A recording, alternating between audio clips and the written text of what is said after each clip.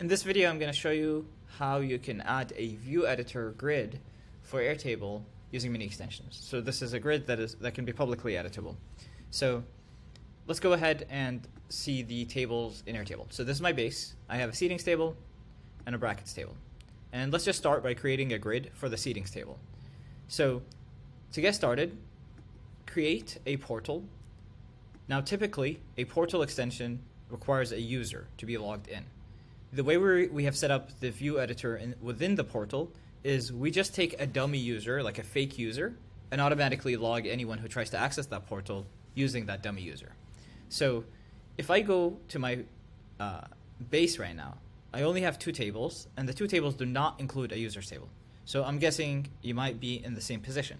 So what I will do is I will just create a dummy users table. This I will not use, right? Like long term, I'm not going to use this at all, but I'm just going to call it users, and I'm just to create a dummy user. And um, you could lock this if you wanted to, to make sure that no one changes it, you know, all that stuff. Uh, so, cool. So from here, I'll go back, I'll select this users table, and you'll see that there's no linked fields found on the users table. So what this means is, you know how I said I wanted to create a grid of the seatings table? We need a mapping, uh, uh, sorry, we need a link from the users table to the seatings table in order to be able to create that grid. So let's go ahead and create that. So I'm going to call it seatings and link it. Cool. Then now if I go back and I can just kind of refresh the table here.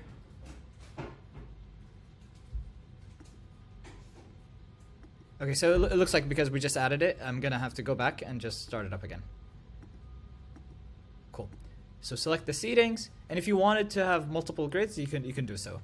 So I'll create this. Okay. Now this is our grid. What the first thing we want to start with is going to the portal settings and then removing the requirement for people to sign in. Once we do that, you'll see the skip login with default user record ID. So this is weird, but essentially we need a record in Airtable that will continue to exist. So make sure you don't delete this record.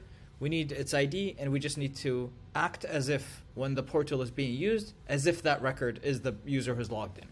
So in my table right here, I already create this. There's many ways to get the record ID. One way is to create a formula with the record ID, so I'm just going to do that. And you do record ID, and this. Okay, so this is my record ID. By the way, another way to do a record ID is to copy the URL, and then within the URL you find the REC. That's another way of finding the record ID. Cool. So now we have that. I'm going to go ahead and open up that portal. So now it's a view editor, but you get the point.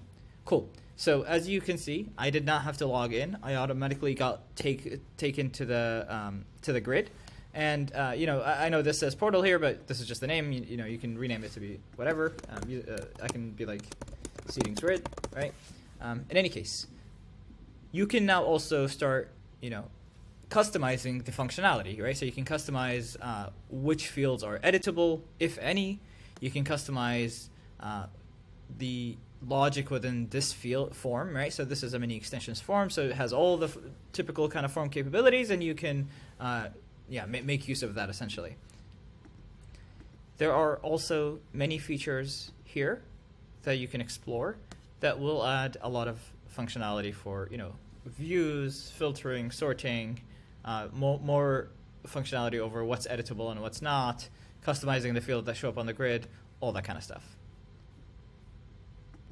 That's it. If you have any questions or if you have any feature requests, please let us know. We'd love to build them.